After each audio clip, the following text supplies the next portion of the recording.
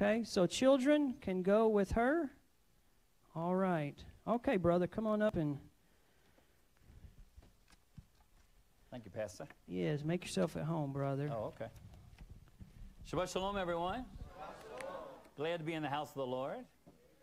Uh, thank you all for your hospitality to um, Tom and Charity and the, and the kids.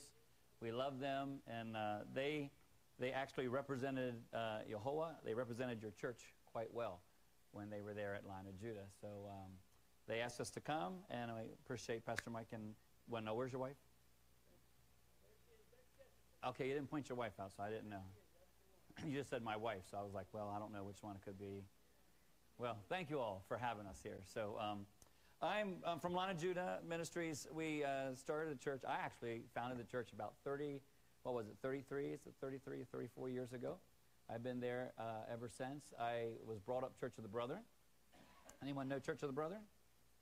I was brought up Church of the Brethren and uh, got filled with the Holy Spirit when I was 13 um, at a Jimmy Swaggart meeting. And so uh, my Church of the Brethren moments changed and shifted slightly because Church of the Brethren is not necessarily Pentecostal. And uh, so I was called to preach at 13, filled the Holy Spirit at 13, called to preach at 13, and I began my journey to really fulfill the will of God. And um, uh, at, at 18, 19, I started having some evangelistic work, and at uh, 19, I was a youth pastor at Assemblies of God. And then at age 20, I started preaching at Assemblies of God in North Carolina. So Engelhard, North Carolina, which is uh, along the sound of the beach, you know, Outer Banks. Uh, I wasn't, we weren't allowed to go to the Outer Banks. We had to stay in, inland. So I was there for a while and then uh, moved to Virginia to an Assembly of God church. And things shifted a little bit for me there. And um, I became independent and um, uh, was preaching a typical Christian Sunday morning, Sunday night, Wednesday night. Here we go. And was having a good old time with, uh, with God.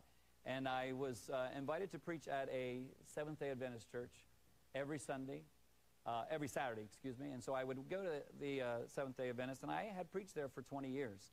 And every time I would go there on a Saturday, they'd say, You know, Sabbath is Saturday. And I'd say, Amen. And then I would preach, and then I'd go back to my Sunday church because I was just appeasing you because you were just saying it. And I was like, That's, that's good. Amen. and uh, they said it to me like every single week. But I, you know, I'm a, I'm a very mature guy, so I just kept saying, Amen. Uh, and went right across the street to my church and had Sunday morning, Sunday night, and Wednesday night church. And about 10 years ago, uh, again, I was there. I, we've had this working relationship. And uh, they said to me, Saturday is Sabbath, you know. And I said, Amen. but for some reason, at that moment, it just pricked me. And I was like, you know what? Even though I'm very kind to you right now and very understanding to you right now, in my heart, I said, I'm going to go home and I am going to study. Because I want to make sure when you say that to me again, instead of being nice, I'm going to say, well, let's just look at the word. So I began to study, and what I decided to do for some reason was is to study it during the week, but I also wanted to involve my church. So on Wednesday night, we would study the Sabbath. Well, nine months later, after my church was saved and unsaved and happy and sad, because the more we studied, the more they wouldn't look at me. Um, I did a whole, I just said, listen, I came before the congregation after a year of study and said, listen, I now know some truth that I never knew before. And I said, what I have taught you, I certainly, a lot was truth. And I said, but now I must apologize for some of the things that I taught you that were not correct. I said, so I take that upon myself. And I said, but you know me, and that now that I know this truth, I cannot turn around and go opposite direction. So I said to them, I understand if you need to leave because we're about ready to do a major shift here. And I said, we're going to change from Sunday to Saturday. We're going to change from some uh, holidays that we used to do to some holidays that we don't know anything about. And um, I said, you are more than welcome. I understand as a pastor who loves you, who's been with you for 20 some years, and some of them have been with me for 20 some years. I said, I release you because I don't know what else to do for you because I can't get behind the pulpit and continue my journey in the way that I was. so we set a time. It was like June. We set a time for September. I even gave him a time. I said, so it's now June. September's rolling around. September, Labor Day, weekend, woo, we're switching. And uh, so we did. And uh, during that transition, we lost just one family. Um, the rest of them stayed. But it was, it was quite rough during those Wednesday nights. My wife usually would sit on this side, and um, she uh, wouldn't look at me as I was teaching. Usually I'd look at my wife, and she's a, you know, a good feed of whether what I said was understood or not, you know. Uh, if I look and she's like, mm, like, what? I was like, okay, I, I need to kind of say this a different way. But when I look at her, she was like this. And then, you know, like wiping her brow and folding her hands, and I'm like, wow. so when I got home during those weeks, she would say to me, don't talk to me. I need at least 45 minutes to an hour, then I'll come back to you so that we can talk. And so I just gave her the time, and uh, she would come back, and we would talk through it. And, you know, then I was never saved, and I said, yes, you were saved. And I never had a relationship. Yes, you did have a relationship. so it was funny because, you know, usually at the end of church, everyone's just hugging, you know, see you later, see you at Sabbath. And during that period of time, it was like everyone just walked out like they were in depressed mode. but I give it to them because they would come back again and again and again and again. And what we found was uh, people begin to understand because it, it's, it's, a, it's a jolt. It's really hard to, at first, to get it. And I told them, I am not a Christmas police. I am not uh, a Christmas tree police. I, you know, what I said to them was this. I said, we will worship the way that we've been teaching now for the last year, corporately. This is how it has to happen because I'm the leader of this house. Individually in my house, this is how we're going to live as far as me and my house. But as far as you, you must come and take your time, move your halakha the way that you need to move it. I am not going to drive by and stare in your window, spit, um, to, to bring, a, you know, something on you. And we will not make you feel bad, you know. And so, um, you know, some still, you know, maintain they were quite sure that they weren't going to say anything. You know, you could see them like whisper, you know.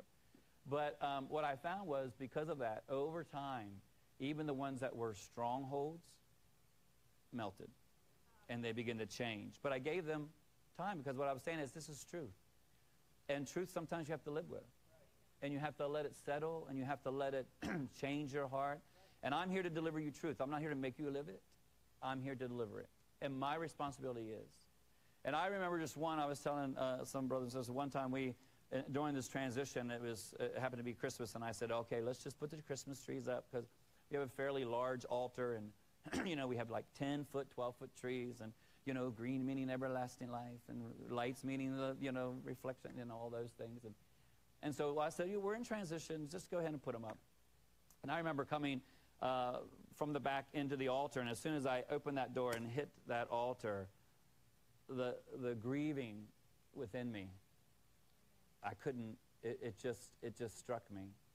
And I maintained myself, but I could just heard the, you know, him say to me, this is not happening. So I went to the altar and preached in front of the trees, so I couldn't look at him.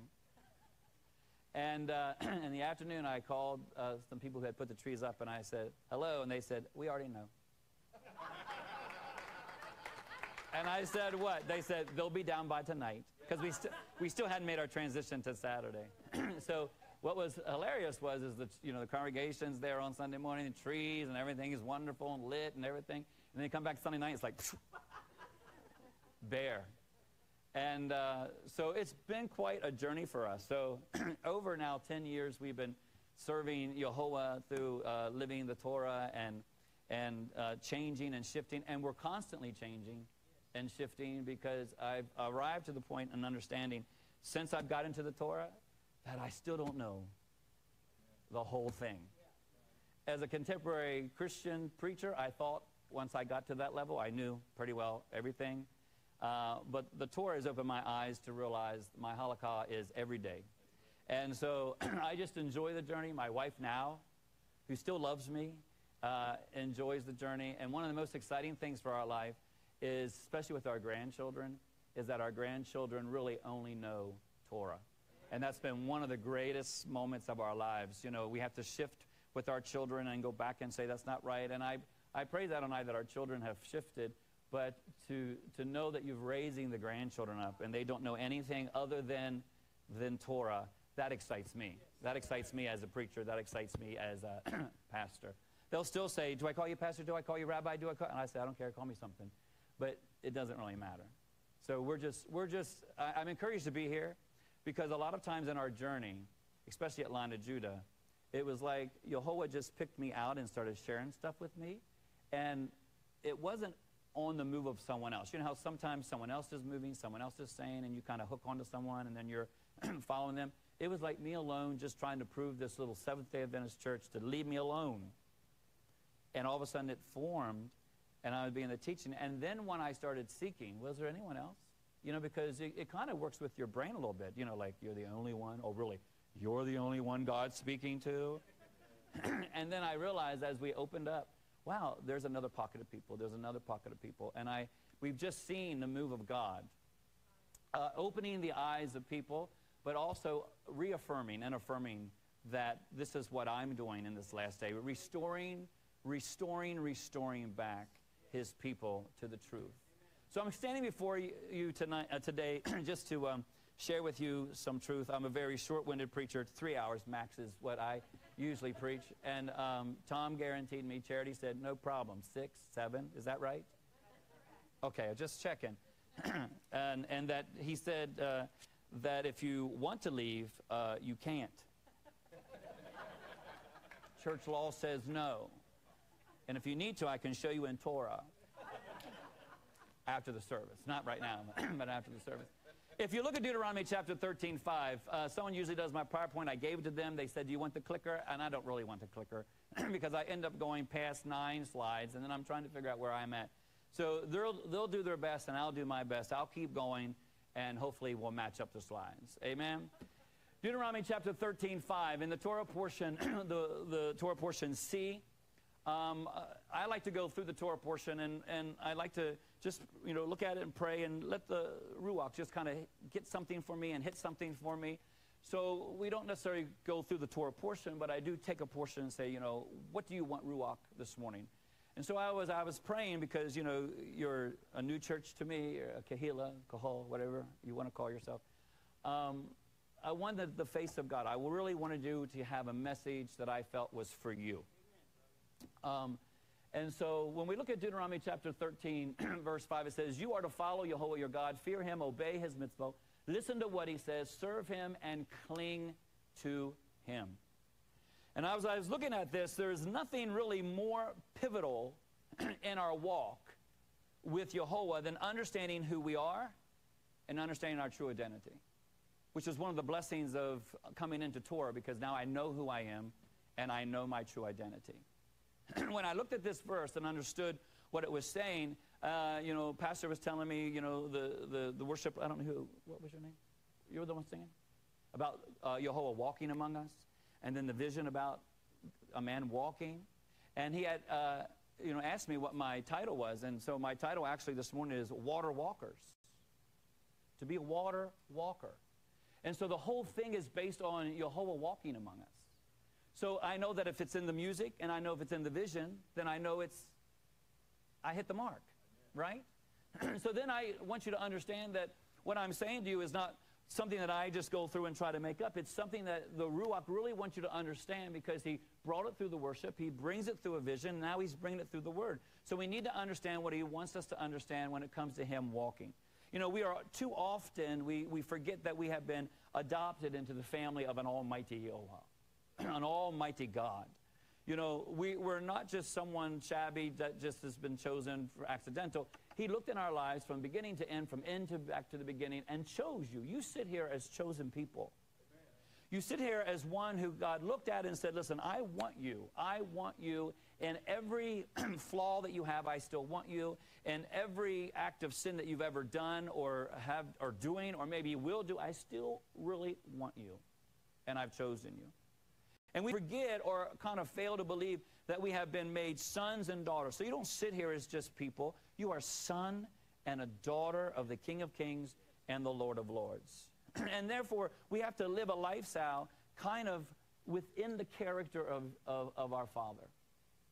Um, when we came to Torah and understanding Torah, I realized I had to change some character. I had to change some of my nature. I had to change some things the way I thought. As a, as a typical uh, Christian preacher, I would preach on Sunday morning and, and people would say amen. And then when they didn't show up on Sunday night, I was like, you're all going to hell because, you know, you said amen and then you're not here on Sunday night. I don't get it, you know.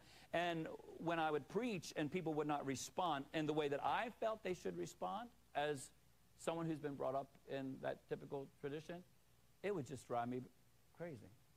I mean, I, I would have to work on my heart because my heart, you know, we're like within fine, Lord, you know, swallow up all these people. I mean, really, maybe not to that extreme, but really, you know, when you're preaching your heart out and you're seeking the Lord and you're giving a message and then people pretend they're responding, but they don't respond in action, it kind of ticks you off. I don't know whether you have that experience or not. and as I came into Torah and began to understand, then I realized it's not my job to look at you and make sure and check mark this and check mark that. And the more I came to the Torah, the more I realized I'm here to proclaim a word. I'm here to tell you who you are. I'm here to tell you by the divine unction of the Ruach that you are sons and daughters. Now, what you do with that word, that's not on me. Amen. And I used to carry that weight. Really, used to carry that weight. And Torah has freed me. Not that I'm just, you know, oh, whatever, whatever. Uh, it's just that it has freed me from the frustration of pastorship and has caused me now to live my life in Torah and Halakha with such joy and such passion. And if I preach hard and no one responds or they feel that they, they say amen but they don't follow through with it, not my problem. Not really not my problem. And so Moses here reminds us, uh, see, three hours, you have to have water for three hours. Moses reminds us and reminds the children of Israel of their covenant relationship. So let me just encourage you that you have a covenant relationship and how this secures their identity. When we, when we understand the covenant, then it secures our identity and then it prescribes a pattern for our lives. You know, God has given us a pattern for our life. In Deuteronomy 13:5, we can look at that verse again, and what we find is we find six verbs six verbs which teach us both who we are and therefore how we are to live. It, it would be redundant for me to tell you how to live if you don't know who you are. So you need to know who you are so that you can know how to live. So when we look at those verbs, go ahead and do the next slide. When we look at those verbs, that, those verbs in, in 13.5 says to follow, to fear, to keep, to listen, to serve, and to cling. That's who we are. And that's how we are to live. So we look at those six verbs, and you're blessed today because I'm not going to talk about six verbs. I just want you to see them. What I'm going to do is talk about the first verb. And the first verb, halach, which means to follow, which also means to walk. So we, we have the vision, we have the worship that tells us about he's walking among us. So let's look at this. After Yehovah your Elohim, you shall walk. That's what the text actually literally says in Hebrew. After Yehovah, your Elohim, you shall walk, which means you're following him. How he walks is how you walk. Yeshua said this way in Matthew 16, 24, if anyone desires to come after me, let him what? Deny himself. And do what? Take up his execution stake and follow me. So there's something. Anyone wants to come after me, so there's a, there's a calling to walk after him, right? And then there's a standard after you start walking with him. what do you do? Then you kind of say no to yourself. So you have to want to walk. Then when you start walking, you say no to you. And then you pick up those things in your life that are not supposed to be there and you get rid of them, correct? And then what do you do? Then you continue to keep following. Or you walk after him. The journey of Torah is not to make you feel bad. The, the journey of Torah is to open up this word and say, this is who he is, now walk like him. This is what he wants you to do, now do it. And he gives you allowance and mercy and grace because he knows you can't do it immediately. Amen. Right? I don't know which section is the perfect section, uh, but, or, or, or, does anyone, is anyone here that can walk Torah out perfectly? Right. Three people said no, the rest of them are just waiting to see where that's going to go. None of us. You're not committing to or not. You're just like, you're in limbo. Hello? Look what 1 Peter 2.21 says. Indeed, this is what you were called to do. This is what you were called to do. You and I were called to do this. Vineyard was called to do this. Lion of Judah was called to do this. One of the most exciting things as I, as I did the journey of Torah, I started to go to Israel and I looked at and, and met a, um, an Orthodox Jewish person who does not know Yeshua, and we were talking, and, you know, he's very kind to uh, Christians. You know, some of them are not, and he was very kind. And and I was telling him about my journey and, you know, some different things, and he was very intrigued. And so I said, you know, my church name. He said, what is your church name? I said, Lion of Judah Ministries. And he looked at me, which is one of the most profound things that I've ever heard, and he said, well, then this is where you would have to go. Because if that's what he told you to call yourself, then that means the name must manifest itself. So therefore, 30 some years ago, when you said and you thought in your brain, ah, I think I'll call the church Lion of Judah Ministries, it was actually Jehovah saying, You will become like Lion of Judah.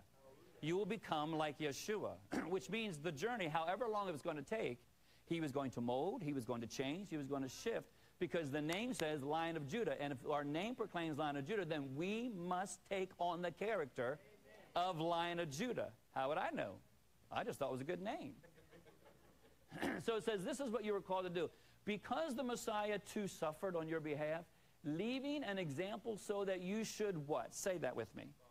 Follow in his steps. Psalms 119, 133 says, Establish my footsteps in your word, and do not let any iniquity have dominion over me. Establish my footsteps. Walk, walk, walk after Jehovah. Walk the way Jehovah is, is walking. So to walk after Jehovah means to live as he would live, to view life as he would view it from his perspective. the greatest uh, thing in our life is that we stop looking through our own eyes and see it through his eyes. His perspective. How does he see things? How does he see this house? How does he see myself as a man, as a, as a father, as a husband? How does he see myself as a, as a preacher, as a teacher? And I need to begin to look at my life, both good and bad, and the mountains and the valleys, through his vision and when I view from his perspective, then I'm actually going to make choices based on his leading. What gets us in trouble is that we see through our own perspective, then we make choices according to how our perspective sees it, and that's not following him. That's wanting to follow him, but following us. So this Torah portion is saying, listen, you, you need to get to the place where you want to follow him and create a halakha that's not your own, right? It's a halakha that is His for your life and will direct you and guide you. So we have to look at our journey. All of us are on a journey, right? Um, and for me and some of you, it has been an outrageous walk. It's been up, it's been down, it's been around. You know, right now, for the last, uh, not to get into any details, but the last two and a half years, we've had a man attack us viciously, viciously over the internet. I never met the man, but he attacks us viciously, talks about us, talks how horrible we are. Never met the man talks, uh, I mean, vile things that I even are like, what in the world? He, he's even attached himself to one of our sites so that when people go to Lion of Judah, they see him. I'm like, what is going on? And you know what? We're praying, oh Lord. You know, at first you're like, oh, merciful God, save him. Then you go through a path, oh Lord, open up the earth and swallow him. then you're like, oh Lord, just downright kill him immediately. and you go through all these emotions, you know what I'm saying? The switching of the church, the changing of this, and, and how people are responding. And, you know, all these, it's been an outrageous walk. I'm sure for most of you, it's been an outrageous walk. Ups, downs, ins, outs, um, testings, trials, tribulations. Anyone have any of those? Or you just mountaintop shouters? And many times Jehovah asked us to walk a walk that at time might seem very impossible and very costly. You know, when he told me, I want you to switch the church, I mean, I, I was in faith and was believing him. I really didn't even, even know the cost of that. Wasn't even thinking about it. I just knew that, oh, I needed to do that. And I talked to someone who uh, was my first person to lead me to, uh, take me to a tour on Israel, and he was like, wow. And I was like, wow, what? He was like, that's all, that was a big thing to do. And I was like, really, was it? I didn't understand the cost, but our lives have experienced cost. You know, families, uh, friends, especially now that you start speaking some truth and uh, moving away from some traditions. Those people that were around you encourage you no longer. You know, I, I had someone from my past, a preacher, when I was 13, called me, uh, uh, Jeff. I was like, hello, I haven't talked to you for like 20 years. Um, do you still believe in Jesus? I was like, well, well, yeah. Well, I was just wondering. Someone said they saw you and you were a Jew. I was like, I was like, what? I said, yeah. I mean, I look back at my past and I looked at my family. I do have some Jewish roots, but I also have some Arab, Arab roots. So I argue with myself all the time. I'm not sure. Sometimes I'm Jewish, sometimes I'm Arab. I'm also have Moroccan roots in me, so now I'm African. So I'm African and Jewish and Arab. I'm just all messed up. But the thing is, it was surprising that just to say I'm following in a different way, you know, do you still know? Je- ah, yes. So you know that you're going to have friends that are going to call, you know, that, that life is going to cost you something. You're sitting here knowing that life is going to cost you something. The life of halakha, the life of following after Yehovah. Because if the Messiah suffered, then who are you? He's the son, right? And though you are son and daughter, you're going to suffer like him. So we find here that Yehovah, you know, walked in the cool of the day with creation. If you just go back through the Word of God, you're going to find that word that he walked a lot. Yehovah walked in the cool of the day. Abraham took his son Isaac on the road to his own sacrifice. There was a walking that had to take place to get there. We know that Moses and the Israelites took a walk where a Red Sea stood, right? it would have been nice to say, I'm taking you out of Egypt. What flight am I going in? JetBlue, Delta, what? No, you're going to have to walk through this wilderness, right? And walk through some things in your life. And it's going to be a frustrating wilderness, but it's yet it's going to be an adventure. You know, when you all were excited, I'm going to Sukkot, I'm going to camp. You know, I was like, oh, it's nice. Because I'm not a camper unless there's like a Hilton or, you know, I'll camp with you there. You know what I'm saying? So you all were like, yeah, ooh, I'm going. I was like, ooh, yeah, you go. Go. I need to look at the. I need a Torah. I need a. To- I need a, a revelation of the word Torah about camping. so you know, it will be a treat for some of you. Uh, for me and my wife, it would not be a treat, especially for my wife. She'd be like, "What? Camping? I don't think so." So when we look at the wilderness, they left a generation behind. You know what I'm saying? Everyone was supposed to get there, but they left a generation behind. Joshua's triumph walk around Jericho, just blow the horn. No, you got to walk around a couple times and then do it again and do it again and do it again. The disciples illuminating walk to Emmaus, you know, not until they walked did they have a revelation of Yeshua. Uh, Paul's interrupted walk to Damascus, you know, he's on his way and get kicks off a horse. And we just see all these things. And then we have Yeshua's walk of sorrow to, to Calvary, to Golgotha. So we look at this word walk. It has a lot of implication, has a lot of power behind it. but one of the most unforgettable walks of all, and we all know it because it's Peter. Peter in the boat, and Yeshua comes, and what does Peter do? He says, uh, If you're who you are, then tell me to come out. And so it's not so much where he was in Peter's life, but what he was walking on and who he was walking with. So I want to look at this as we connect Deuteronomy 13 to Peter's life because everything in the Torah has relevance to our own life, correct? It doesn't stand all, it does stand by itself to that day. It also has more power in our own lives because that's where we're living right now. So if I would stop and ask, if I'm going to ask you, um, who wants to step out in faith? Now, I always tell my congregation, don't raise your hand until you think about it. But who would like to step out in faith? Something in your life, an area in your life, something that maybe you wanted to do, haven't done, or you just find yourself just kind of sitting in a place and you would like to step out in faith. You know, when, when the pastor says raise your hand, you just want to be able to raise your hand. When, when it's time to worship, you want to be able to worship. You want to be able to just step out in faith. You need to ask yourself that question Am I willing to step out in faith? Or if I would ask you, who wants to experience something more of the power and presence of Jehovah? You want more of him. you know, you had this level and you want you want overflowing level. You want you you want that you can't stand level.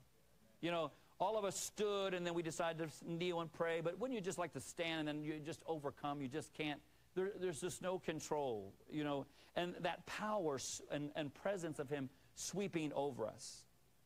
When we look at Peter's life, we can say, how many would like to ever walk on water? And then the pastor was telling me about his, his child wanting to walk on water. I want to be there, okay? so when you feel the unction, just call me. But give me a couple hours. It's about five hours from where I live. So look at, look at Peter's life, and the easy thing is to say, well, how does he walk on water? Well, of course he can walk on water because Yeshua was there, right? But how many were in the boat? There was 12 in the boat. How many walked on water? One. So it's not because his presence was there, because if that's the case, he would have floated everybody up out of the boat. and they would have had a, you know, walking on water party, but they didn't. There was 11 of them stuck in a boat, and one decided to get out at the what? At the calling, at the leading, because who's walking on water? He is. And if I want to be a water walker, then I got to do what he does. And if he's walking on water, then let me get out. Do you know what I'm saying? if, he, if he's going to heal the sick, then let me heal the sick. If he's going to raise the dead, then let me raise the dead. Wherever he goes, I'm going to go. So wherever he's at, I'm going to follow. So that's the power of a halakha. The halakha is not making a choice. Should I? Should I not? Do I want to? Do I not want to? The power of it is if he can walk and he's walking and he's going to the other side, then why am I in this boat? Amen. Why am I in the boat? there is a consistent pattern in Scripture. And I went through a couple things. You know, this is walking, this is walking, he is walking. And so, this consistent pattern in Scripture of what happens in a life that Jehovah wants to use and improve. There is a pattern. Here is the pattern there is always a call. How many feel you have a call in your life? Raise it up or keep it down. Don't I don't know. Could be, could not be, not quite sure. Today, maybe, not tomorrow. Sukkot, no. There's a call. We all have a call in our lives, right? Many are called, few are chosen. It's not that he said, Oh, I do want you and I don't want you. The chosen is those who are willing to follow the lead. Everyone's called. but the chosen is not because he chose you. The chosen is because you've chosen to answer the call. And you've chosen to get out of the lousy boat, the boat that's been laying there, the boat that's been sitting there in the water. So he asked ordinary people to engage in an act of extraordinary trust. You know, for 20 years, I kept hearing Saturday is Sabbath. Mm, it's nice. It's nice you have Saturday. It's nice I have Sunday. Oy vey. Who would have thought? but then when he pricks your heart and I see him walking. See, I didn't know it was true until I saw him walking. I saw him walking. And when I saw him walking, then I had to follow. And when I had to follow, he's asking me to engage in an act of extraordinary trust. I have to trust him. He'll secure my congregation. I have to trust him. None will be lost. I have to trust him that everything's going to be okay. Right? Because it doesn't always happen that easily. some pastors could change their church and lose everybody. You have to have some extraordinary trust. And whether you want to believe it or not, when, you have a, when you're a, a pastor and you have a church and you've had a church for a very long time and that is your salary, salary is very real. Everybody's like, salary? What salary? Salary is very real. yes, you don't focus on money, but money is very real. Who's going to pay the light bill? Who's going to keep my children warm? Who's going to keep my wife cold because she likes air conditioning? What's going to happen, right? Extraordinary trust. I want you to do something that you don't know. I want you to do something. I want you to get out of your boat.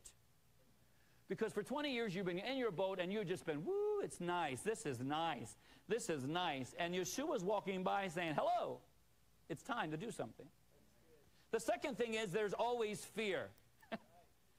no, God has given me not a spirit of fear, but a, yes, but there is fear. Okay? Don't deny what you feel. Just know where to place it, right? There's always a fear. I love a super spiritual person. I, I don't fear. I trust God. Be careful what you say. Because there's something around the corner that's going to make you scared. And Jehovah seems to ask us to do things that are scary to us. Sukkot. That's scary. and you have this kind of fear of inadequacy, right? I can't speak, I can't talk, I can't do this. Well, it, you might not seem like it right now, but I'm actually a very introverted person. I don't, I don't really engage. I try to engage, you know. And I, we were at Wendy's coming here, and uh, a man was in front of me, and he started talking to me, and I started talking. And after we sat down, Pastor Kane said, "You never talk to people like that." I was like, "Oh." He was just talking, so I was talking. I'm a kind of a quiet person, actually, in reality. Okay? Pastor Kenny's not. He'll talk your ear off. My wife is not. She'll talk and talk, and I'll just sit there. Mm, mm, mm. Yeah. Mm.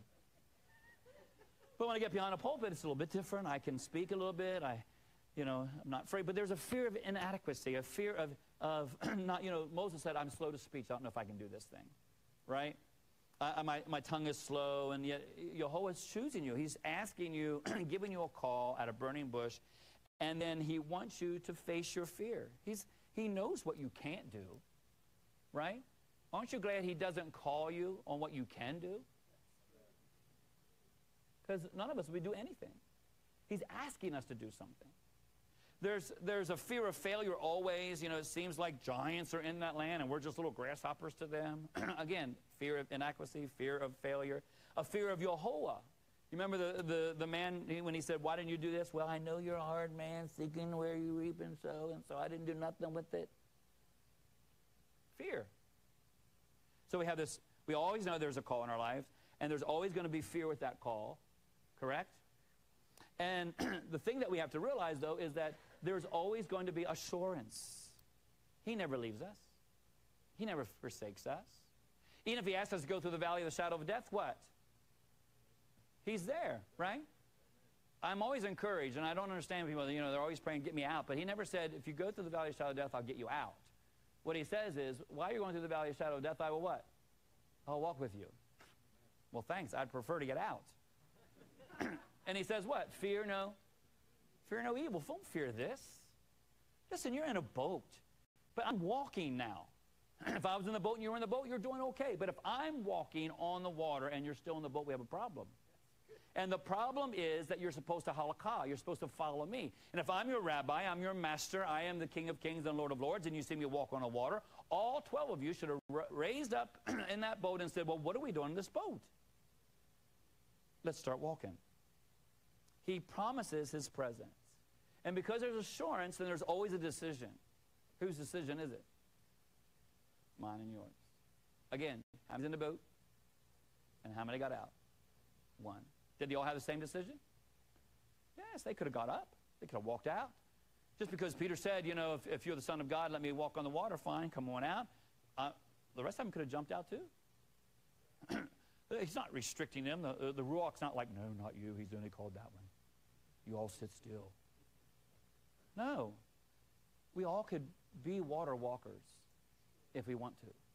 Or we can just uh, kind of chill in a boat wait till we get to the other side. You know, as a person that we have decisions, some of us say yes, some of us say no. And then there's some people that believe they just don't decide. They just wait. I'm going to wait it out and however the Lord leads. And But it's really a yes or, or no situation. And you, sitting here today as vineyard people, must decide. Is it yes or is it no? And in that, there's always a changed life. So that's the sequence. You get a call, there's always going to be fear, but you're going to have assurance. Then there's going to have to be a decision in your life. And then after the decision, guess what's going to happen? It's going to change your life. How many want to change life? I'm not satisfied with my life. I, am not satisfied. my best sermon, I'm still not satisfied. The biggest shout I can give, I'm still not satisfied. I want more. I want to go higher with Him. I want Him to reveal more things to me and do greater things in my life. Not for me that you can look at me and say, wow, so I can testify. Well, let me just tell you what the Lord has done. But because I want to follow him, and I know he's an extraordinary God, he's an extraordinary Father who loves me so much that he's not willing just to sit in a boat with me, but he wants me to experience something that I've never ever experienced before, and he wants my life to be changed, and I want my life to be changed. Perfect life? No. But learning, growing, that I can follow him in every area that he calls me out. So we look at Matthew chapter 14, 25 through 32. Around 4 o'clock in the morning, he came toward them walking on the lake. Now, if you just remember in, in, in the story, I might have the uh, scripture up later, but who put him in the boat and told him to get in the boat and told him to go to the other side? He did. Now, hold on. Wouldn't he know that there's a storm? What kind of God is this? To put us in a boat when he knows there's a storm. so around 4 o'clock in the morning, he came toward them walking on the lake. When the Talmidim saw him walking on the lake, they were terrified. Terrified. Now let's just stop for a moment and realize maybe the way that we see God sometimes and what he expects of us terrifies us.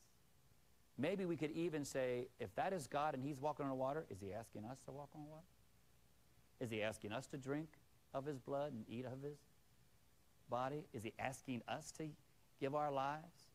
So the, the being terrified is that maybe it is him, and I'm terrified that it is him because now he's doing something extraordinary that he might ask me to do. I'd rather him just kind of be cool, calm, collective.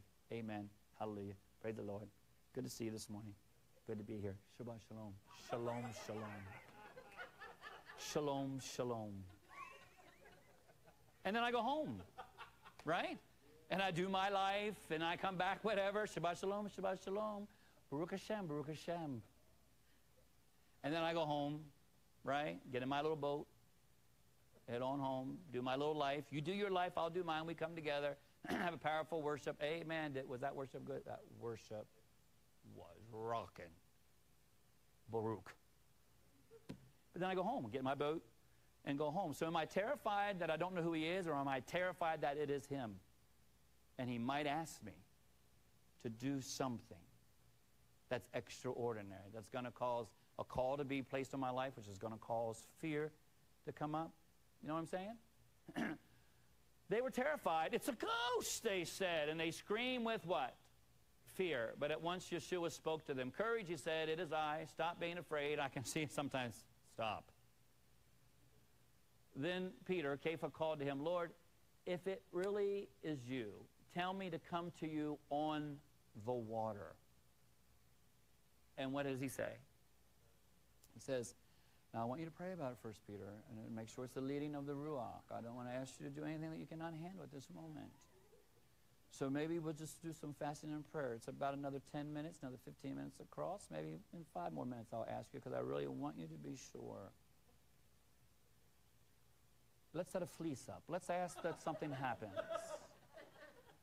Let's ask that the other 11, let's all pray right now. Maybe we'll have some, uh, some agreement. Amen. Let's pray. Grab hands, people. No. he says what?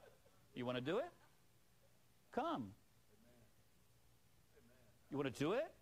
Come. We have to understand that if our steps are ordered by the Lord, then a lot of things that come in our lives are, are what He wants us to do. Why are you praying about it? Why are you seeking Him about it? What's, what, what does your decision have to do? the decision why you decide to seek Him, and I'm not saying in all things, but a lot of things, the reason why we want to pray and seek and, and make sure it's Him is because we don't want to do it. So anyone that can give us a, you know, you okay not to do it, then I'm with you, right? Because we hate those people. Just jump out. Come on, let's go. Sukkot. Stop being afraid. Then Kepha called, come. And so what did Peter do? What did he do? He got out of the boat and he what?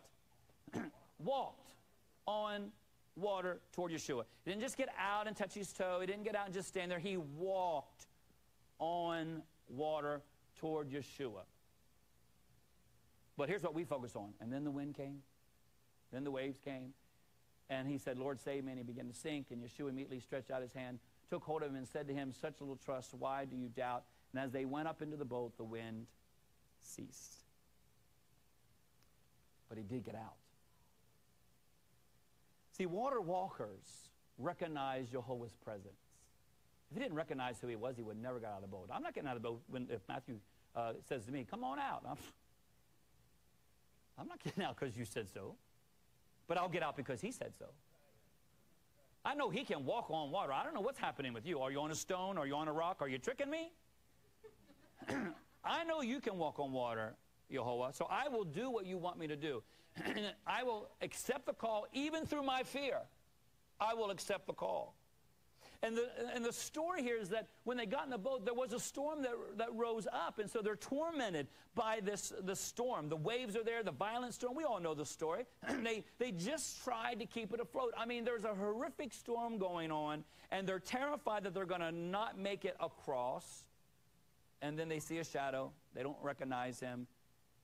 And we ask the question, how did they fail to recognize him? How in a world, when you spend this time with your master, do you fail to recognize him even though it's a shadow? How do you fail to recognize him? And the answer would be is that sometimes It takes eyes of faith to recognize when Yeshua is around, not your own eyes. You have to recognize it through the eyes of faith. And sometimes in the middle of our storm, tormented by waves of disappointment and doubt, we don't recognize the presence either. We don't know he's in the valley of the shadow of death. We didn't know that he was in the valley we're just sitting in. We don't know that he's in the testing, the trial, and the tribulation. you know, last, uh, last Torah portion talks about uh, Jehovah brings them out of Egypt to what? To afflict them, to test them, so that he would know their heart. Well, if you would have told me that in the beginning, I might not have laughed. All you told me I'm going to a promised land. Who doesn't want to sign up for a promised land? Come on. Then later on, you say, to afflict you, test you, to know your heart. That's a little deception. Here we have this walking on water, tormented by waves, disappointment, and they don't recognize them. Sometimes we don't either. In the, in the version within the Gospel of Mark, the Greek word is a technical term. I have it up here. And it, it, really defines, it defines moments when Jehovah made an appearance to a select individual or a group for the purpose of communicating a message. Do you think I'm here by accident? Oh, on August 19th? Even when I was making a decision, 12th, 19th, what's good for you, what's good for me? Who already knew what decision would be made? He already knew what's going to happen today. He already knew what the word was going to be. He already knew who the vision was going to come. He already knew what the worship was going to be like. Who knew? Who knew? he did. And so it's a defining moment. This morning is a defining moment. Every time you come together as a, as a corporate body, it's a defining moment. It's a, it's a new word. It's a new revelation. It's what Yehovah wants. It's a defining moment when Yehovah makes an appearance to a select individual or a group. He's here today. He has selected us to be together. He selected this word for you, and He selected everything that has happened today to happen. He selected us coming down, what happened to us coming down. Uh, he selected who is preaching at my Kahila. All that's been selected. It's a defining moment. It's not accidental. Was it accidental that he put him in a boat when, he, when there was a storm? Did he say, oh, wow, there's a storm. I better go see how they're doing? No, he said, get in the boat. I'll be with you later. I could have gotten the boat with you, but I want you to experience the storm. Because in the middle of the storm, I need you to recognize me. Because you can recognize me without a storm. See, when there's no waves, you can see me. When everything is good, hallelujah, Baruch Hashem, I can recognize him. Isn't this sweet? Don't you recognize him? But when all hell breaks loose, do you recognize him? And the part of our life we have to understand is to follow him is not to follow him when all your life is good. It's to be able to follow him when your life is not so good. It's to be able to follow him when a storm is in your life. I can follow him if the signs are there. Follow me, here I am, hear the songs, listen to the shofar. That's, I'm good. But when the storm is there and the waves are there and the thunder is there and, I, and my boat is rocking, will I recognize him? Will I be able to recognize him? And, and sometimes it's not because what am I focused on? The storm, situation, what's going on, and he could go right by me. you know, when we look at these defining moments, it's, it's Jehovah who puts Moses in the cleft of the rock.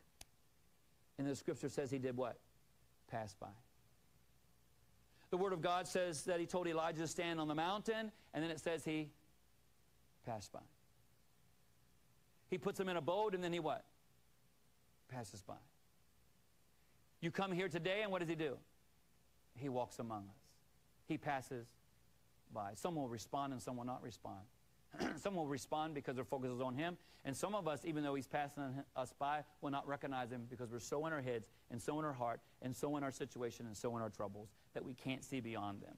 And yet he's there to heal you. We're so racked in pain, and he's there as a healer, but we can't, we can't grab out and touch him as a healer because we're so focused on the pain. He's a deliverer, but we're so focused on our heart and what has happened in our heart and the pain and agony in our heart, but he's there to remove it, to take it from us. And always wanting, waiting for us to do is say, if that's you, call me. And he'll give you one simple word come. And yes, you might get out and then you might fail, but that's life, isn't it? But at least you got out because 11 people stayed in the boat. And what we do is that we focus on Peter failing. I preached that about failing, not having faith. Why didn't Peter have faith instead of focusing on, look what Peter did? He got out. And even when he changed his perspective and began to sink, Yeshua picks him up. Doesn't tell him, I can't believe you got out and sunk. He's just saying, listen, do you understand what you can do?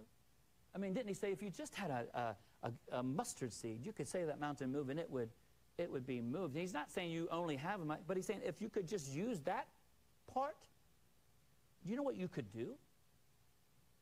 And each time they were afraid, but each time they said yes. Moses says yes. Elijah says yes. We, we can go down the line, and I'm, I'm sure I'm sitting with people who have said yes.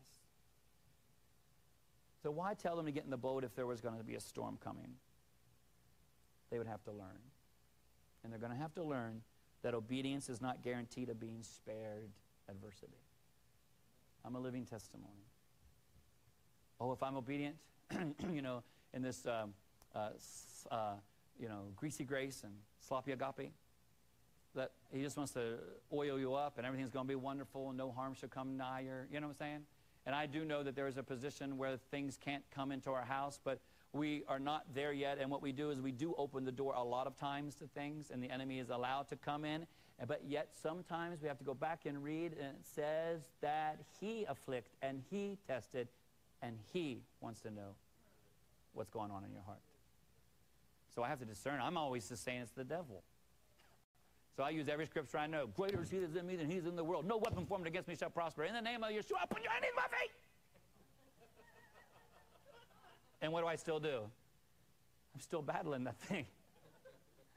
then I go through, doesn't God love me? What's going on? And he's like, Are you serious? The storm had their full attention. Don't ever let the storm have your full attention. Listen, I'm not a person who says, don't, you know, you're not sick. You know, say it again. You're not sick. You're not sick. You're not sick. I am sick. My head hurts. It doesn't hurt. It does hurt. No, it doesn't hurt. In Jesus' name, it doesn't hurt. It hurts. And what I want in Jesus' name to be gone. But I can't lie and say it doesn't hurt. It hurts. Right? Don't think about it. What do you mean don't think about it? Pound, pound, pound, pound. He didn't say, ignore the storm. He said, know that I am with you in the storm and be able to handle the storm. That's where maturity comes in. yes, you have to fight the waves. Okay, but fight it. Yes, you have to fight the fear that says you're going to drown, but fight it. Because if I put you in the boat to go and I told you to go to the other side, you will make it to the other side because I do not lie.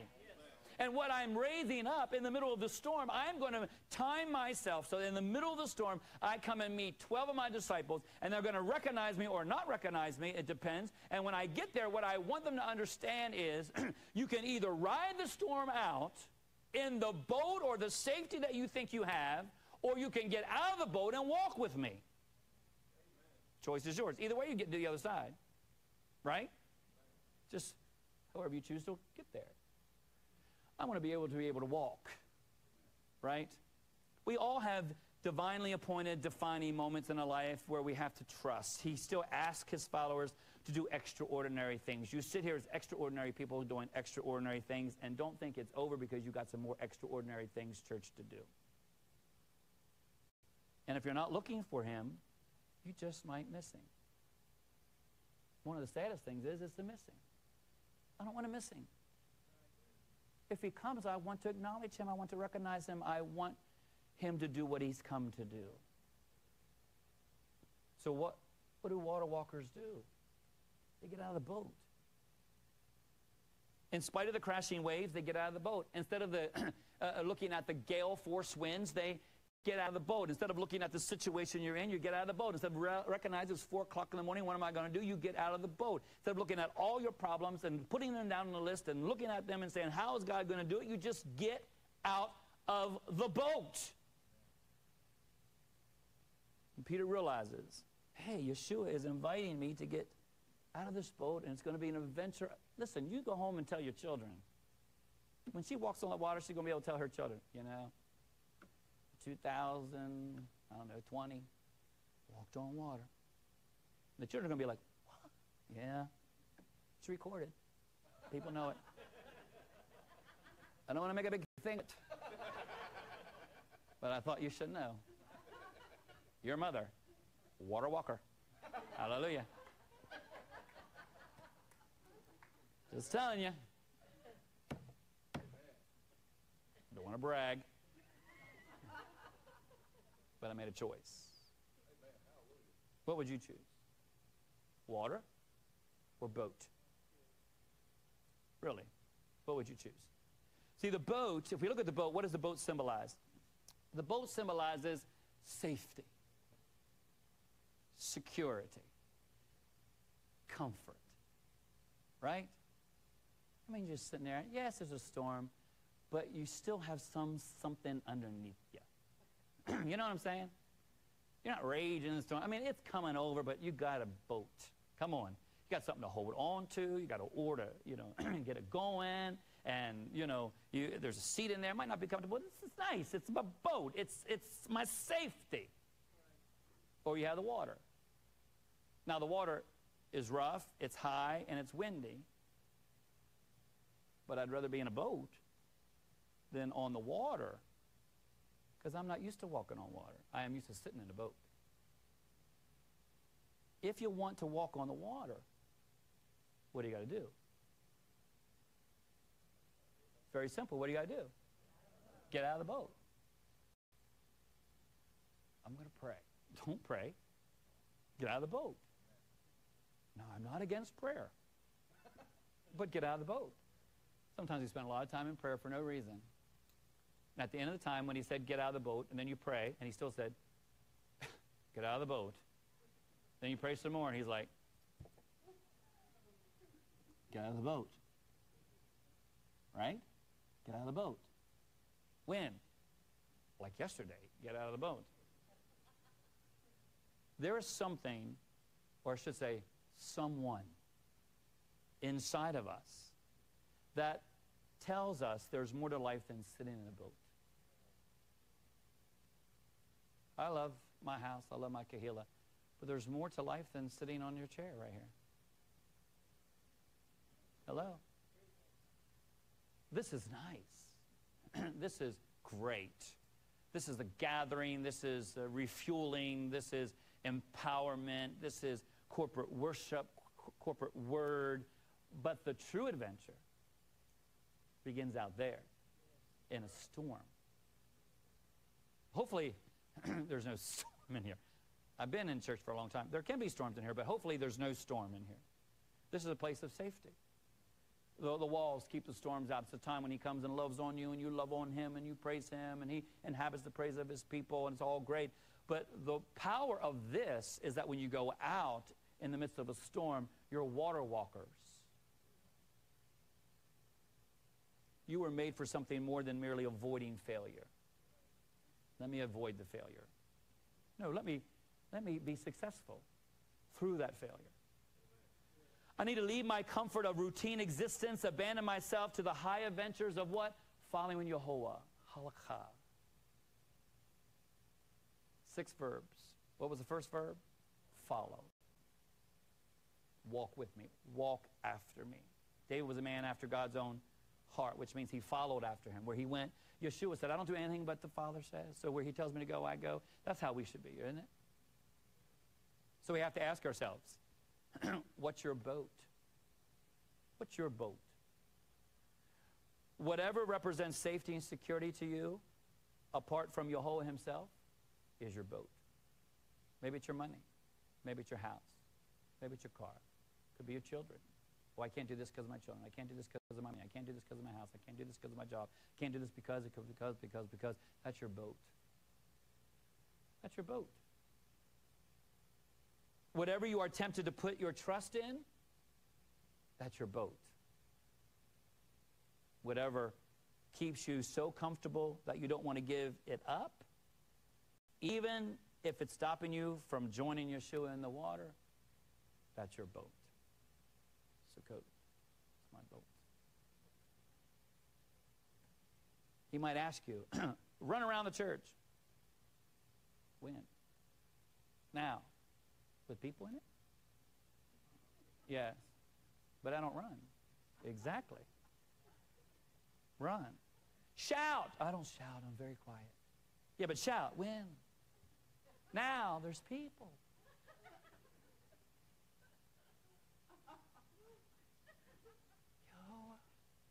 I said, shout. Shout. it's my boat, it's my safety. I'm uncomfortable, right?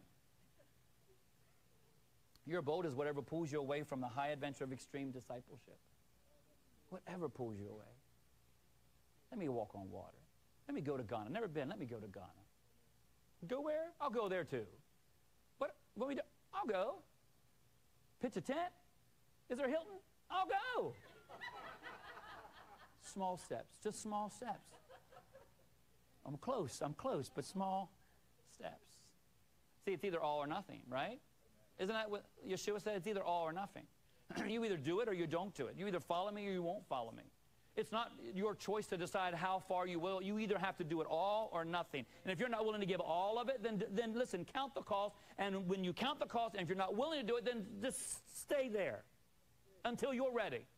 Until you're ready to step out, just stay there because you're just going to enjoy your little boat and your little boat ride, and the storm's going to take you around, but you're still going to be secure in the boat. When in reality, you could have gotten out and walked on water. And even if you fail and sink, it's okay. At least you walked on water once. You want to know what your boat is? Very simple. Your fear will tell you. Whatever you are afraid of, that is your boat. You have to ask yourself the question what is it that most produces fear in me? Especially when I'm thinking of leaving it behind and stepping out in faith. That is the boat. That is your safety. That is your security.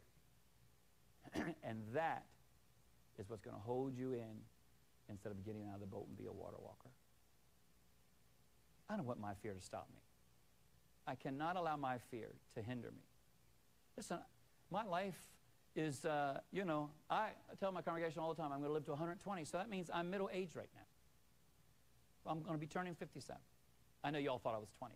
But um, it would have been a great time for you to say, Yes, I did. You didn't teach them very well. Add another hour. Pull up my other sermon. I want to be able to, if I'm going to lay down my life at the end of my day, to look into the eyes of Yeshua and say, Yeah, I'm ready. I have done every adventure I can think of. I have gotten out of the boat so many times I cannot even imagine. And I have conquered every fear that is in my life. And I, if I could, I would stay for another hundred. Because this life was great. We're so busy saying, oh, so come. I hope Yeshua comes today. Why? Tomorrow could be the day you get out of the boat. Right? See, whatever we fear, whatever, whatever produces fear in us, especially when we think of leaving it behind, maybe it's our vocation. Maybe it's time to change something. No, I don't want to change anything. I mean, 20 years in a typical Christian church, that's a, that's a good stay and then you want me to change everything? I mean, that means, you know, Pastor, Pastor Kenny, I have all my, you know, I'm sure you do, but all my sermons from the very beginning, you know, on cassette. That's how old I am. Now, all the young people, what is a cassette? I have them on cassette. So Pastor Kenny, we're cleaning out. Pastor Kenny comes and says, uh, should we just throw away these cassettes? I was like, what? My life? Who I was? Well, yeah. I was like, I will have to give them to my children if I die. And my grand, he was like, Are you kidding me? I was like, I am not kidding you. And sometimes that vocation or what we have is so a security in us that we can't give it up. Maybe it's relationship. Maybe we have a relationship, whether it's right or whether it's wrong. You know, I'm not talking about unequally yoked, even though that would be a bad thing, correct? That would be something you could give up. But even if you are equally yoked, but it's not what Jehovah wants.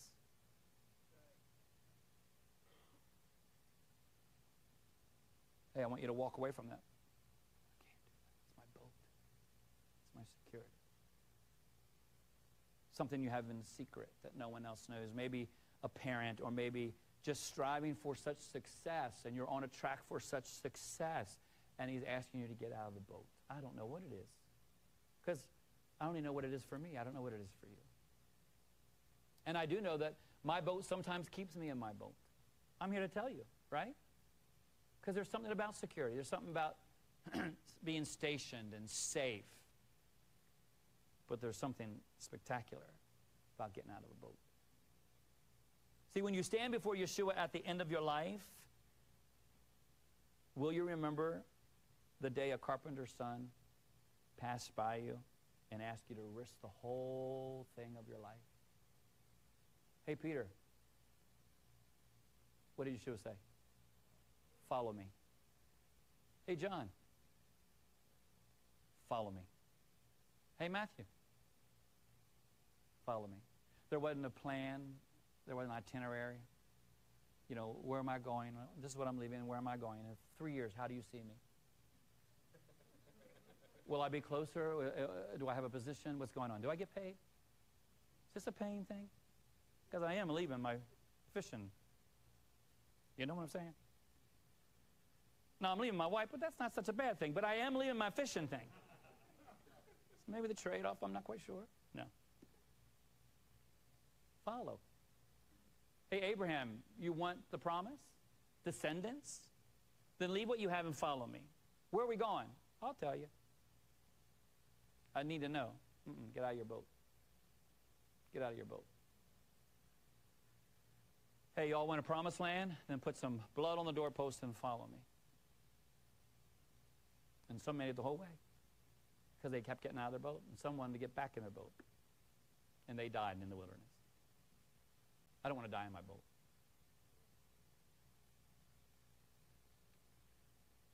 What wild ride does Jehovah have in store for you? And you're still in the boat it. What is your boat?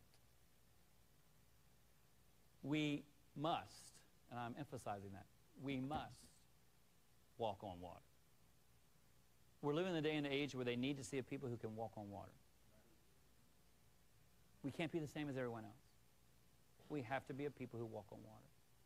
We have to be a people who follow the Master. And if he walks on water, we walk on water. If he raises the dead, we raise the dead.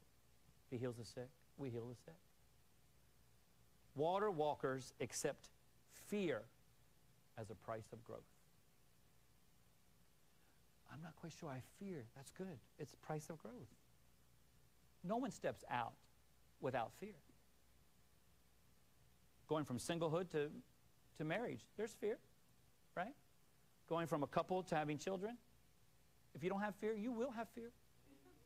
When they start coming, you will have fear, right?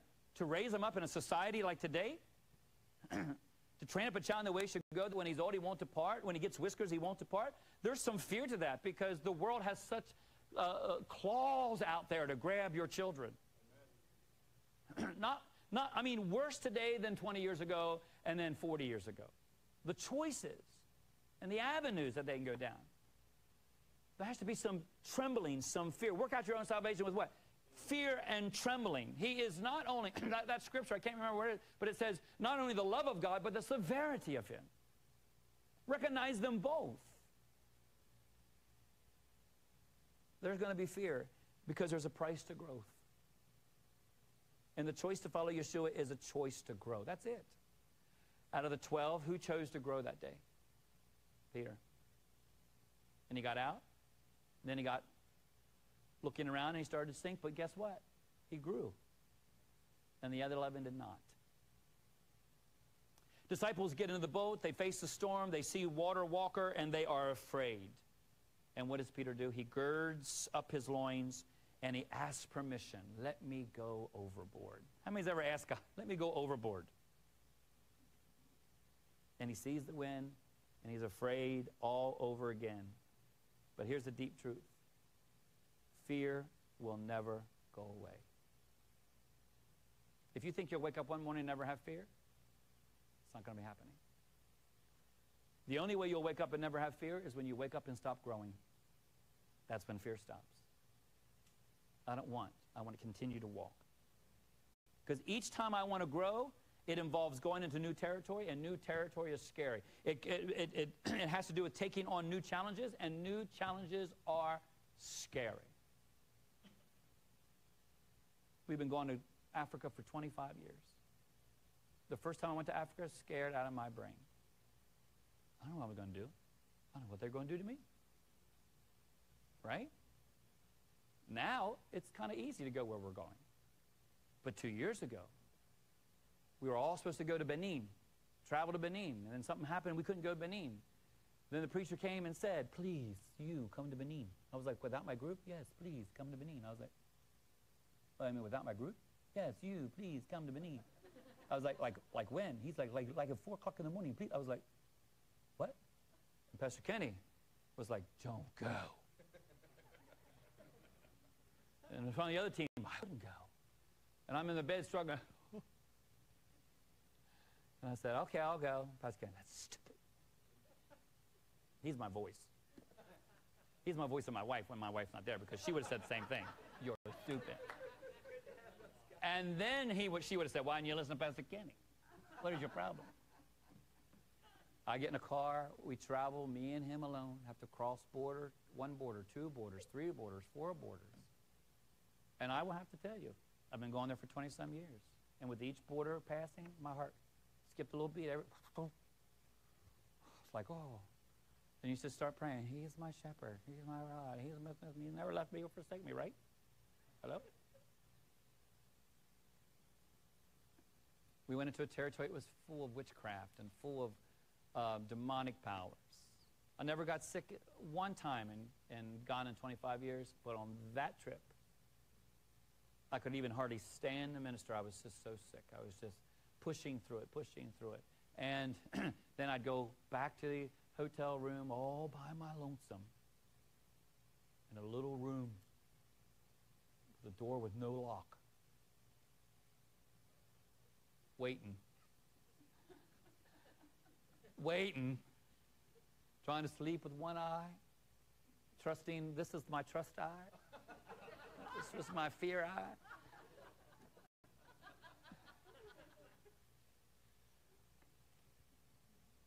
Finally got home. But I should have been a seasoned traveler. Because if I'm going to grow, see, what was I used to I always used to having someone a, a group, a team, a people, right? that you encourage one another and stand with one another. And now what happened to me? What did God do? Get out of your boat.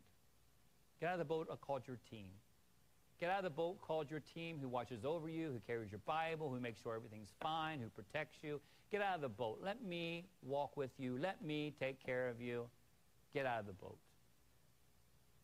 People around me wouldn't go. Even one of the pastors of uh, that I've known for 20 years who's African. I said, yeah, I wouldn't go. and I'm African. I wouldn't go. That's encouraging. You're like, oh, you wouldn't? And when I get home, I wouldn't have went. That was God. I was like, it was God. I had to get out of the boat. So we're always growing. The only time you stop fear is when you stop growing. The decision to grow always involves a choice between risk and comfort. Which one will I choose? Let's face it, we do like comfort, right? You're sitting in comfort right now. Listen, we have a nice big building, it's a metal building, and when the air conditioner goes out, you get to see who really loves Jehovah.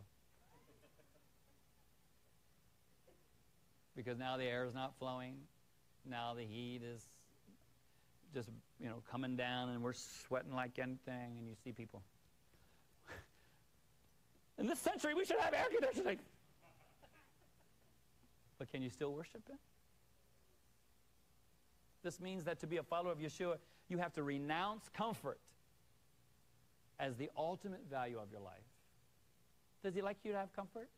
Does He mind that you have comfort? No. I'm glad I drove here in a car and not a horse and buggy. I'm thankful. He didn't tell me to start last week so you could walk because he wants me to experience walking. No. Get in a car, that's nice, that's comfort. But if I value that, over getting out of the boat, then that's a problem. Then my car becomes a problem. Then my house becomes a problem. then my relationships become a problem. Then my spouse becomes the problem. Then my children become a problem. We want comfort. We want the best selling La-Z-Boy chair we can get, the best comfortable couch, and wonderful seats like that. I grew up in Church of Brethren. I remember hard wooden pews. Anyone remember them? You lean to the left till that bone hurt, and you lean to the right. till That bone hurt, and you lean forward. Then you made a mess and did some funny things, so your mama would send you out.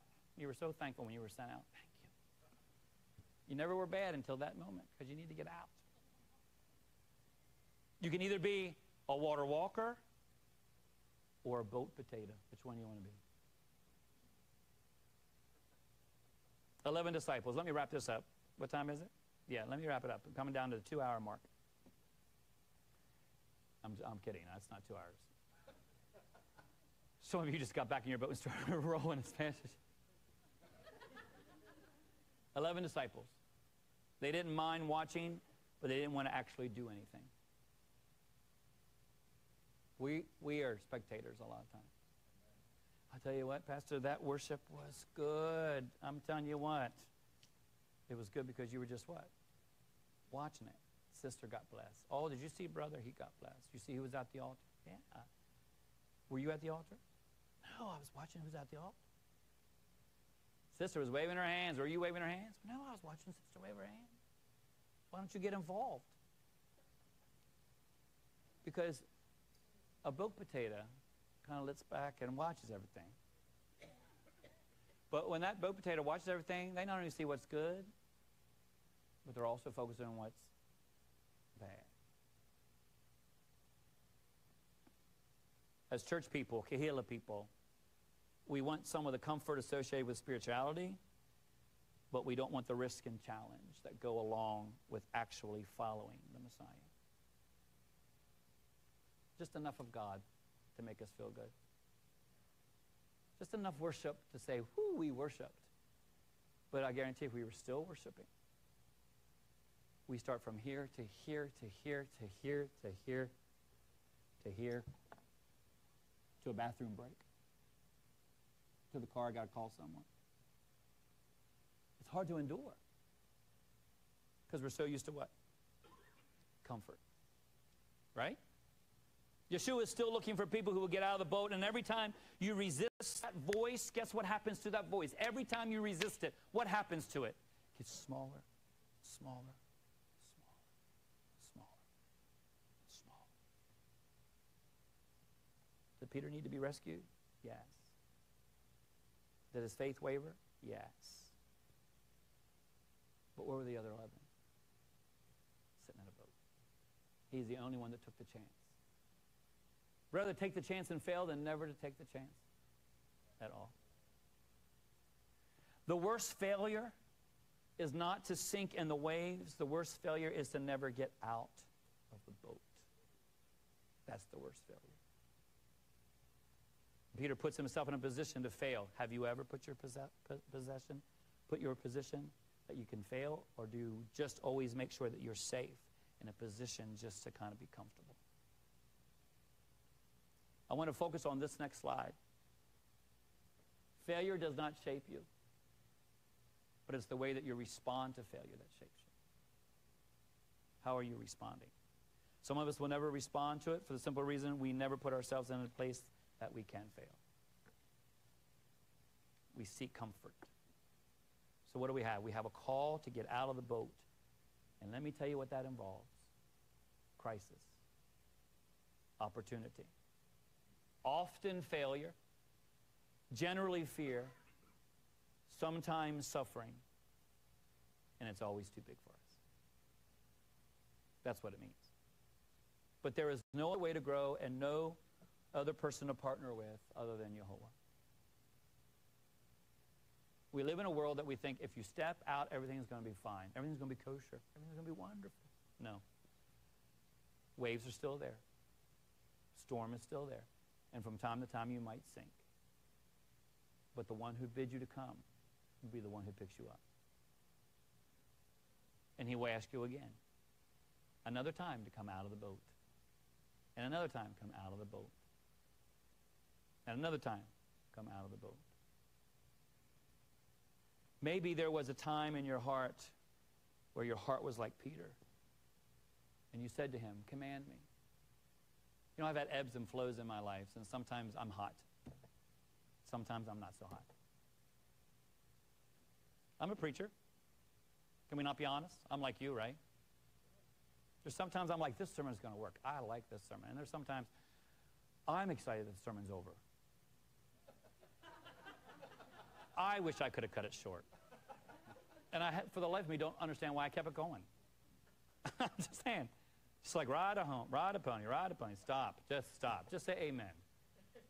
Just say, the Ruach said I'm finished. Because in reality, I am finished. And then there's some sermons you just preach and you're like, this is good. Oh, this is good. You just want to preach forever. And sometimes the ones I think are bad, people say that was the best sermon. And sometimes the things, ones I think are good, people are like, just hang me. Just kill me right now.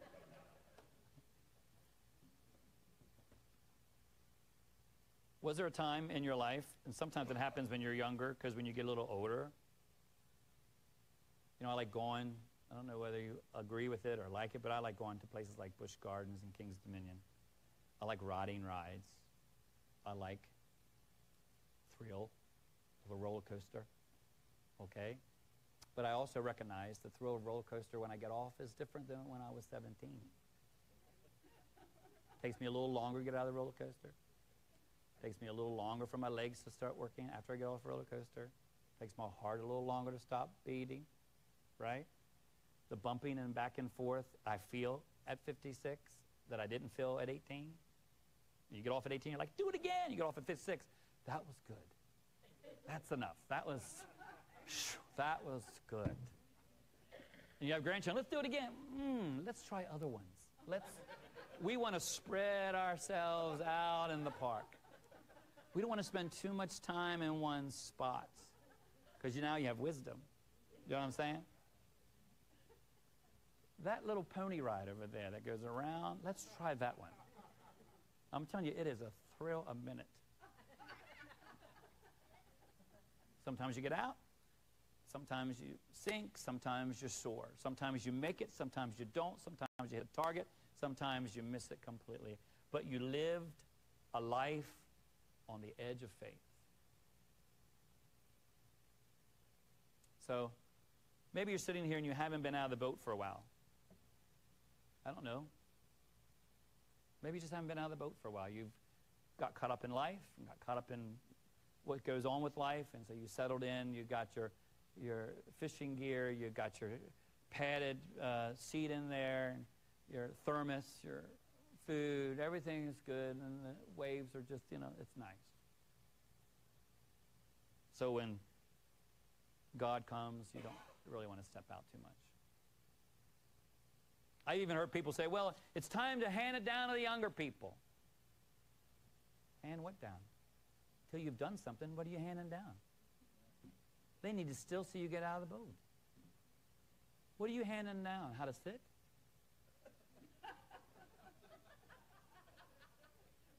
How to stand there and praise and worship and not worship? Is that what you're handing down? You're doing a great job. I'm not talking to you personally. You're like, now he's offending me. I'm not, not talking about you all. I'm talking in general. I've only been here one time, so I cannot make any judgments, even though, no, that was going to be a bad joke. I might got you in trouble too, but what are you passing down? What your children should see that during praise and worship, you are the worshiper. It is the most, it is the most uh, uh, radical worship that they could ever see. that it's time to praise, you are the praiser. When it's time at the altar, you are the one, you are the first one at the altar. You are the last one at the altar. That's what you're passing down. That you are on the edge of faith. that you're not afraid to step out. Because if you're always in the boat, they will always want to be in the boat with you. You have a very nice boat. It's nice, it's padded. But what if this morning Yehovah is passing by? Maybe the whole sermon is that he just wants you to reevaluate where you're sitting and get up and listen to him say, Come and take a chance. Just get out of the boat. Yeshua is looking for people who will just obey him. Six verbs. What was the first one? Follow. Because the rest of them will not manifest unless you do the first one. You don't need to study all six until you get number one down. And number one leads to two. And two will lead to three. Three lead to four. Four leads to five. And then five leads to six, where you are clinging to Him. And by the time you hit the last one, the last verb, you know who you are. And your identity is there. And that's how you start to live. I want to live as water walkers. I want to get out of the boat even in the midst of problems. I want to get out of the boat even when the storm is raging. I want to get out of the boat even if my faith is not perfect. I want to get out of the boat even if I have to risk everything and possibility of failure. Let me be someone who gets out of the boat. But if I get out, if I get out, two things will happen. And let me close with these. Number one, you will fail sometimes. So forget about it trying to be perfect every time. You will fail sometimes, but Yeshua will be there to do what? Pick you up. You will not fail alone, and he's still able to save. You'll fail. I've failed. Pastors fail. You all have failed. In every area of your life, you probably failed. In relationships, you said something you shouldn't have said, you failed. Right? You did something you didn't you shouldn't have done, you failed. You made a decision you shouldn't have made, you failed. You went left, you should have went right, you failed. You went left and right, and you should have stayed. That's life. Right? And that doesn't scare him. He didn't say to Peter, don't get out of the boat unless you're sure you can stand in water. He just said one little word. Come. Let's see what you got. Come. Let's see what you can do. Wow. You stood for five minutes. That's great. Because 11 of them still sitting.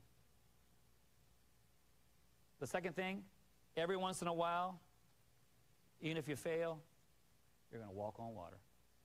And that moment is the most exciting moment. That moment of success, that moment of victory is worth every moment of fear and failure that you ever went through. That moment when it worked. So, where are we in relation to Yeshua these days? Are you huddled in your boat with a life preserver, seatbelt on? Enduring the wind and the storm, hoping it will soon pass and you get to the other side. One leg in, maybe, one leg out. Or you're just water walkers and you're loving it. I'm getting out. I'm going to walk. Let me give you a quote. Theodore Roosevelt. Anyone know him? It's not the critic who counts, not the man who points out how strong man stumbles or where the doer of deeds could have done better. The credit belongs to the man who is actually in the arena, who, at best, knows in the end the triumph of great achievement, and who, at the worst, if he fails, at least fails while daring greatly, so that his place will never be with those cold, timid souls who know neither victory or defeat. This is what Jehovah wants for your life. Victory or defeat, just follow me. And sometimes we'll run into someone and we'll raise the dead, and sometimes we'll be in the garden when swords are coming after us.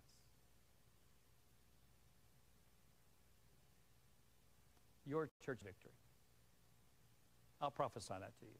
It's not even a, you know, ooh, he's prophesying. I prophesy to you. You're a church of victory. You're a church of water walkers. Some of you know it, and some of you don't know it. You just need someone to remind you. I'm here to remind you. Storm will still be there whether you're walking on water or in a boat. Right?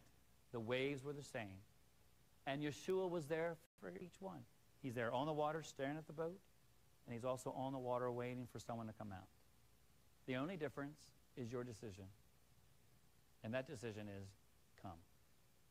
Get out of the boat and experience something that Jehovah wants you. My advice to you is to find that comfort, that safety, that boat, get rid of it. Get rid of it. Tear it apart.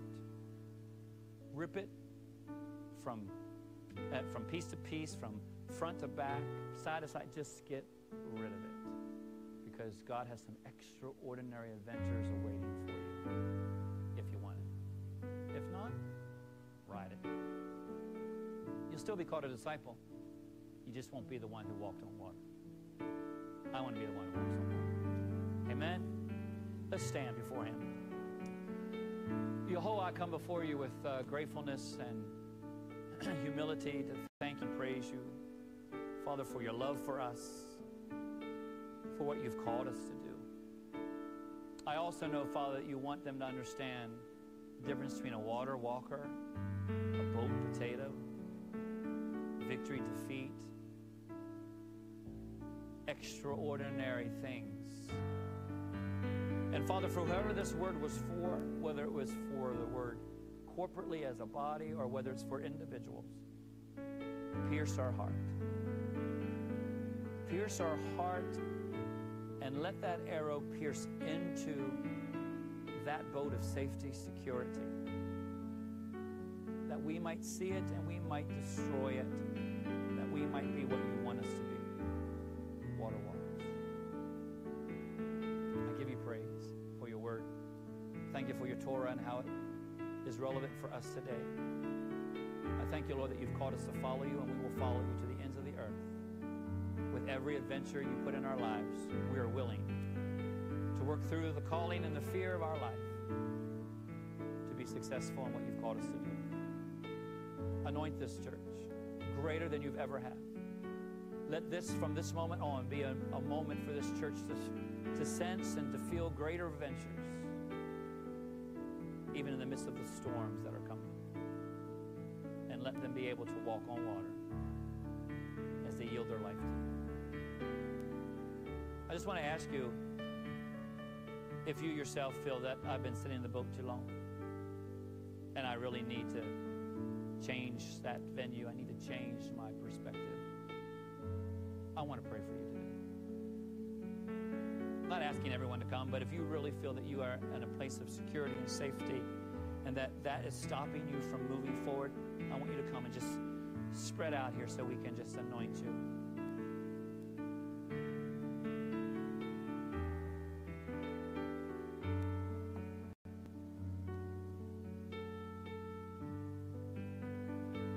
Do an outrageous thing. Do you mind? Anyone mind? I'm going to ask you to remove your shoes and your socks.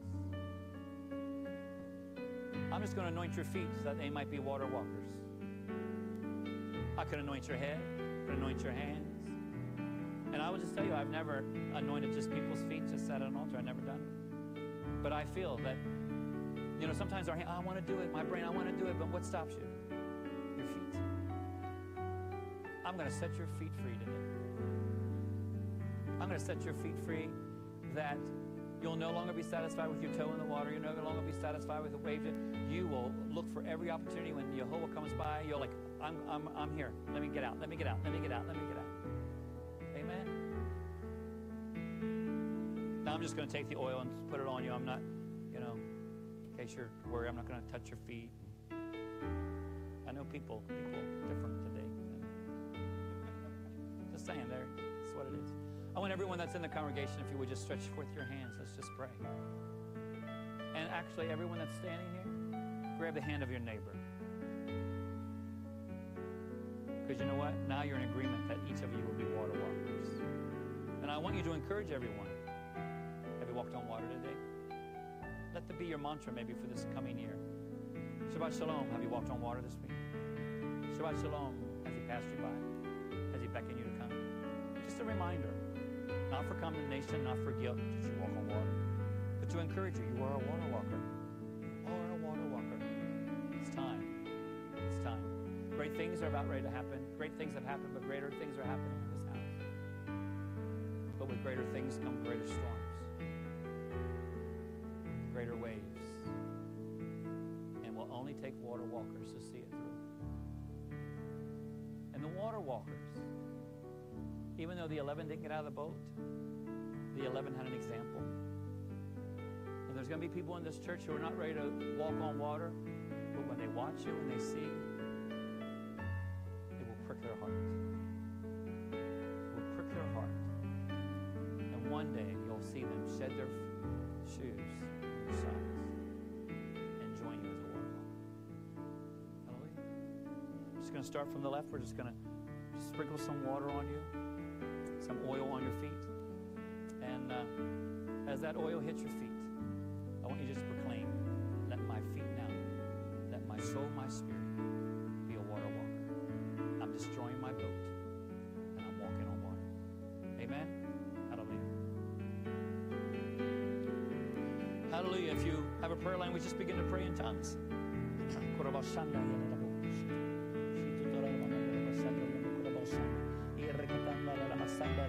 Shikondo la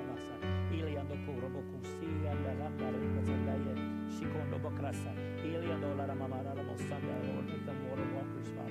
In the name of Yeshua in the name of Yeshua Father. As the oil drips from them Father Lord prepare them Father to get out of the boat to walk on water Yeshua Father let that oil permeate and penetrate Father into their spirit Father Lord let them see you pass by and and Father welcome you Father and and call out your name and walk, Father, Lord, among the storm and the, and the sea and the raging waves, Father.